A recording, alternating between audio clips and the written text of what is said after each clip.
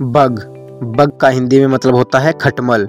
खटमल, जो कि चारपाई में पाया जाता है, और जो सेकंड है, वो है लाइस। लाइस का हिंदी में मतलब होता है जू, जो बालों में पाया जाता है। अगर आपको ये जानकारी अच्छी लगी हो तो मेरे चैनल को सब्सक्राइब कीजिए लाइक कीजिए कमेंट कीजिए, और इस वीडियो को ज़्यादा से ज़्यादा अपने दोस्तों तक शेयर कीजिए।